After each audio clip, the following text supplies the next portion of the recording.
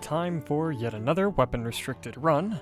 This time we're going to be using one of the bigger meme weapons in the Fallout series, that being the BB gun.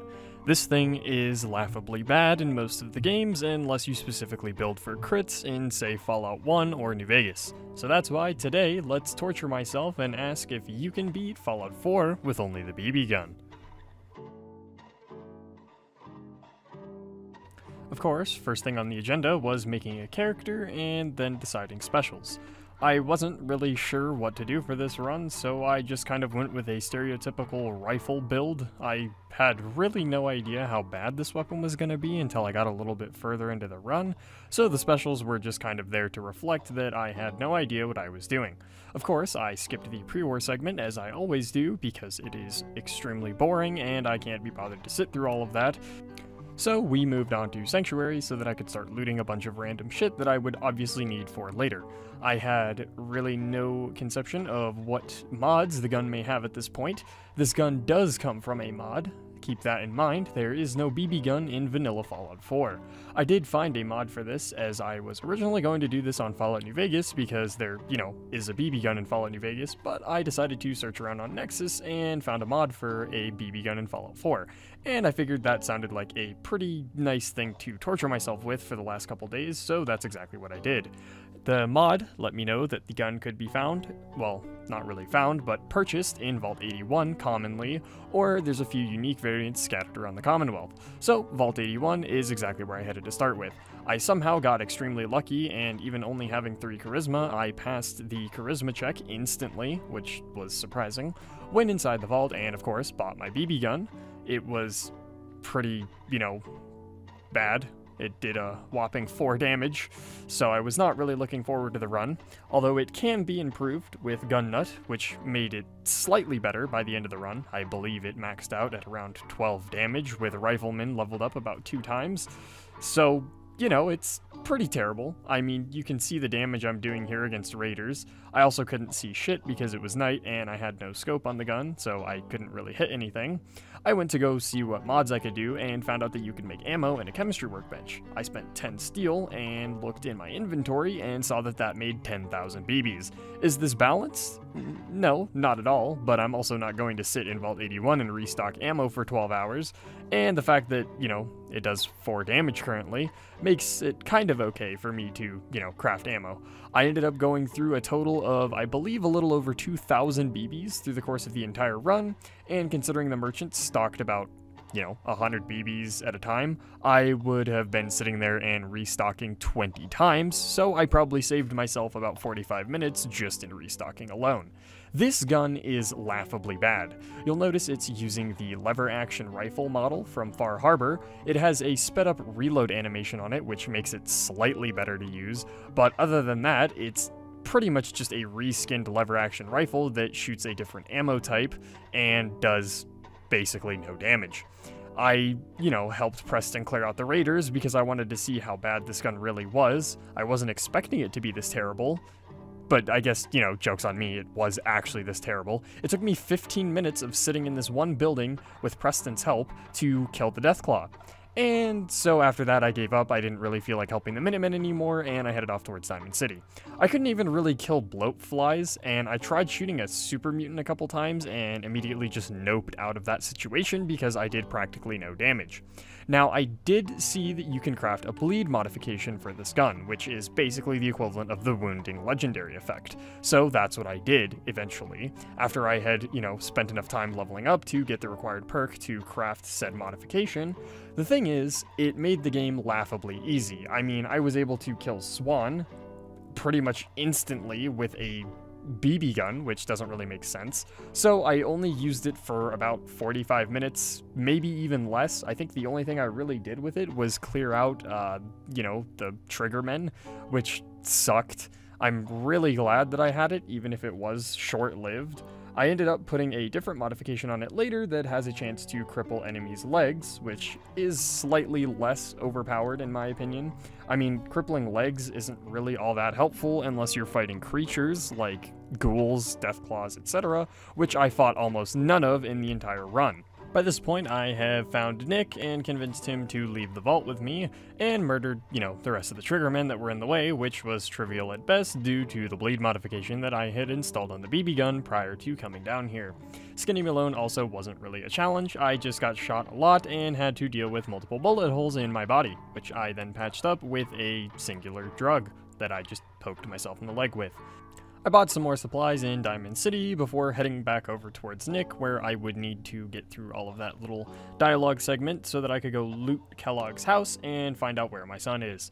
I was, however, hella interested in stealing from a bald man. Yeah, I really don't care about the story in this game. I thought it was pretty terrible for the most part, but you know what? It's still a pretty fun game to run through. Just not with a damn BB gun. Eventually, I made my way over to Fort Hagen and tried to take out some of the raiders there, which was practically impossible with this piece of shit weapon. The synths were also extremely terrifying. I was taking insane amounts of damage in here for some reason. I have no clue why I was just getting shredded so quickly. I mean, the Institute pistol slash rifle slash whatever aren't really that great of guns, and as far as I'm aware, I wasn't just naked, so I'm pretty sure I should have had slightly better defense, but you know what, we're just gonna move on. I kept clearing my way through the fort, killing synths that I had, you know, crippled due to the uh, modification that I put on the BB gun. Did the same thing to Kellogg, I just crippled him and then let him sit on the ground while I pumped his head full of BBs.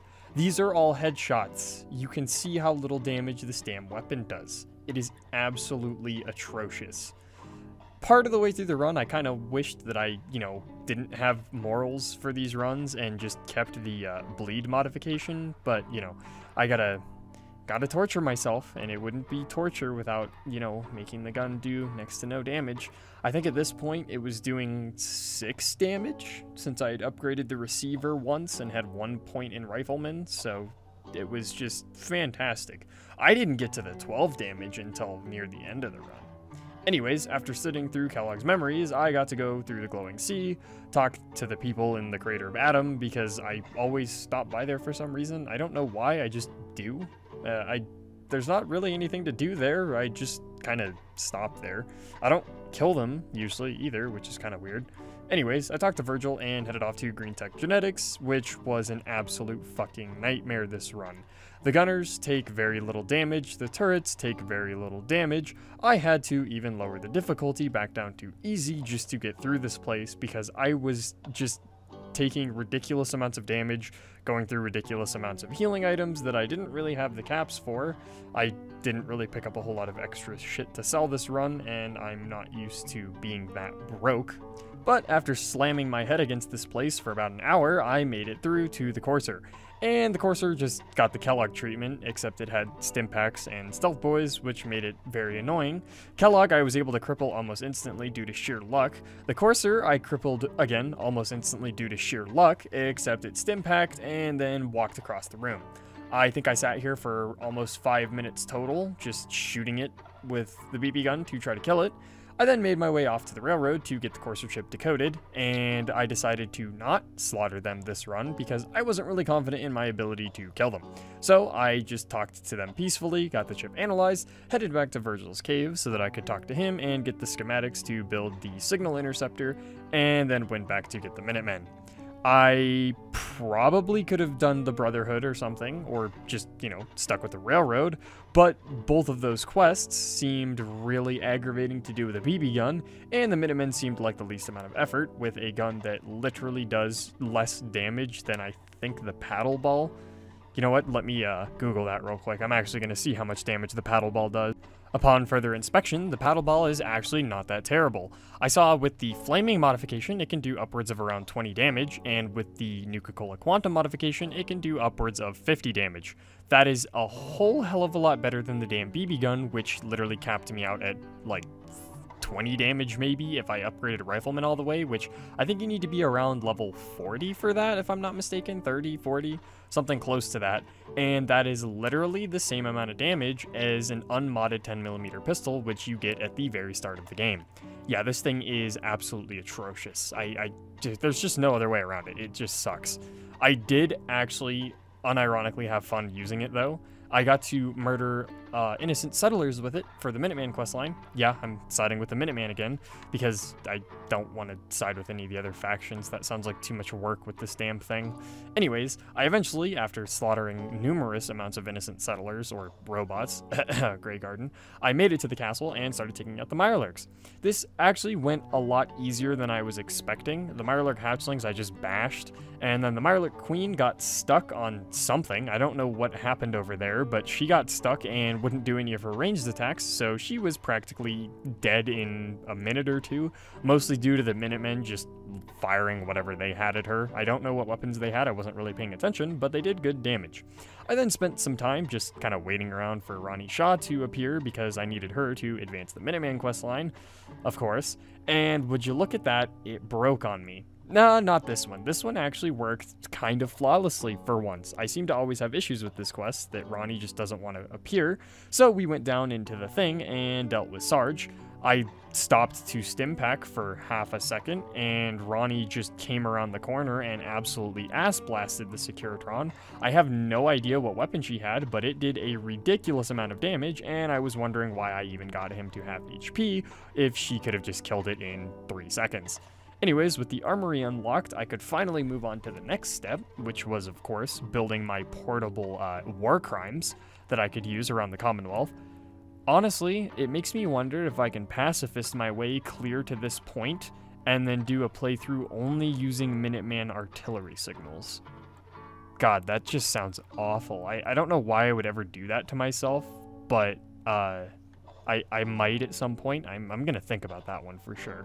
Anyways, then it was time to defend the castle, and this is where the game broke on me. For some reason, it was raiders on the defend the castle quest. It's supposed to be synths and coursers from the Institute, but it gave me raiders for some reason.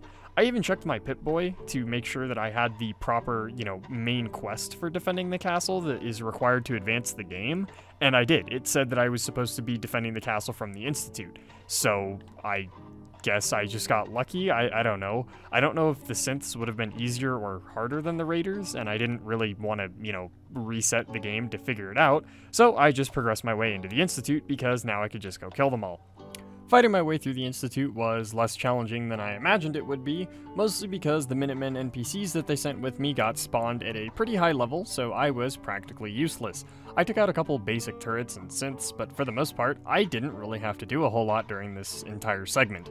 The Minuteman NPCs were just crazy. One of them had a really damn good minigun. I'm pretty sure it was explosive or something. It was legendary something, but it was just shredding absolutely everything. In the main foyer, I just kind of AFK'd for like 10 minutes and came back to being alive and everything being dead in there. That's a whole lot of synths, a whole lot of coursers, a whole lot of scientists, just a lot of things dead that I somehow didn't die to. But I, of course, killed the civilians and then made my way to the reactor so that I could put the charge on. I did bully one of the legendary synths for a little bit because I wanted to see what it dropped. I was slightly disappointed, but you know what, it could have been worse. The other one dropped a goddamn leather arm or something. So it was, you know, pretty uh, disappointing. But that's just my luck with legendaries in general for Fallout 4. I either get really damn good ones or really damn bad ones. Also, I had to put two fusion charges on the reactor before it would let me go back to Sturges and leave, which was kind of weird. I wish it would have let me blow up the Institute twice, I think that would have been funny. Anyways, I let the kid come with me, teleported out and blew up the Institute, and then spent a little while looking for Diamond City because I honestly have no idea where it is in relation to whatever tower I'm on. I think it's Mass Fusion, I honestly don't remember. But with that, I beat Fallout 4 with only the BB gun. As always, I hope you guys enjoyed. If you have any suggestions, please leave them in the comments below. I hope you all have a wonderful rest of your day. I appreciate each and every one of you for the support that you've been giving me lately and making the channel grow. It is absolutely fantastic to have you all here watching these videos and letting me do what I enjoy, and I appreciate you all more than you can imagine. Thank you guys, and have a wonderful rest of your day.